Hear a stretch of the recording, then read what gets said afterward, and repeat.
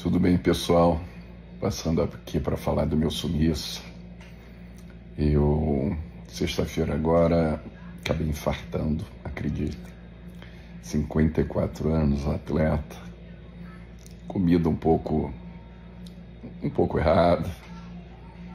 Fazia exercícios, mas comecei a descuidar um pouco da minha saúde. Uns quatro anos sem me cuidar e eu tive 98% de entupimento de uma, de uma veia, principal do coração e mais duas, 78, 73. Fique atento aos sinais. Ele me deu volta e meia vários sinais, falta de ar, palpitação, subindo aqui na mandíbula e sentindo dor no ouvido. Cuidem-se sempre, tá? Papai do céu me deu uma chance. Tô voltando. Semana que vem eu tô voltando direto. Tá bom? Fiquem com Deus. Qual?